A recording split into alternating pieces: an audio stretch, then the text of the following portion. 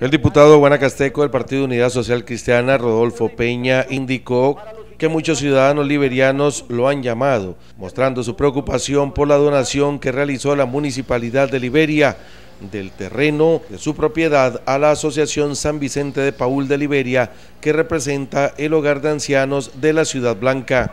Amparado en los artículos 125, 126 y 140, solicitó el veto, que es una potestad constitucional que se le confiere al Poder Ejecutivo y tiene la posibilidad de objetar proyectos de ley aprobados por Asamblea Legislativa, ya sea por razones de conveniencia, por oportunidad o por inconsistencias. De esta forma, el diputado Peña Flores indicó que el presidente estuvo anuente a firmar el veto y que ya se soluciona el problema.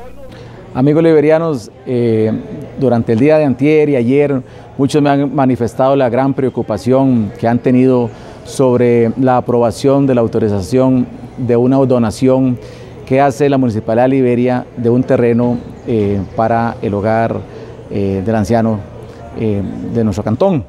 Les cuento que están preocupados porque parte del error material que se cometió están los terrenos donde, de la Plaza Camilo Reyes.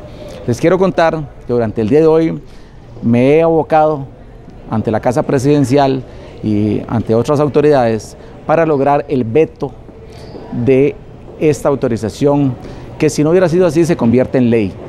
Les quiero contar que tengo una gran satisfacción y un agradecimiento profundo con nuestro presidente don Carlos Alvarado que accedió y vetó, la ley el día de hoy. En estos momentos me está llegando el despacho el comunicado y vuelve eh, el expediente a la Asamblea Legislativa para resellarlo y para corregir el error material que se cometió durante la aprobación de la autorización de la donación para el hogar de ancianos. Aparentemente la donación de un espacio de terreno en la zona ferial no se hizo de la forma adecuada y esto provocó que toda la propiedad quedara ahora en manos de la Asociación San Vicente de Paul. Es que se cometió un error.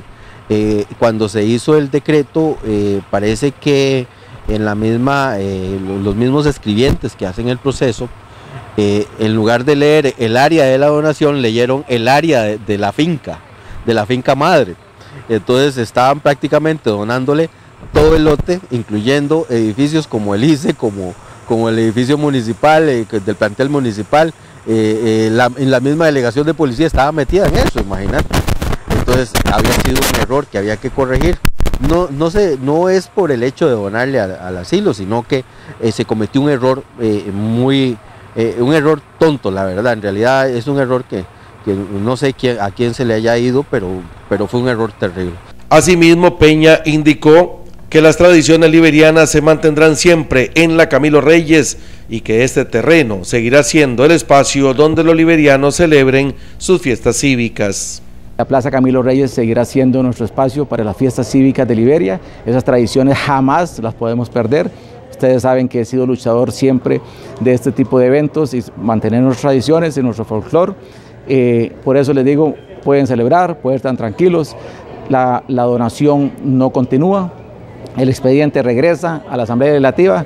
Haremos los, las correcciones necesarias para que el hogar San Vicente Paul tenga su terreno a su nombre, pero los demás espacios sean siempre de la municipalidad y la Plaza Camino Reyes siempre esté eh, en disposición para celebrar nuestras fiestas cívicas.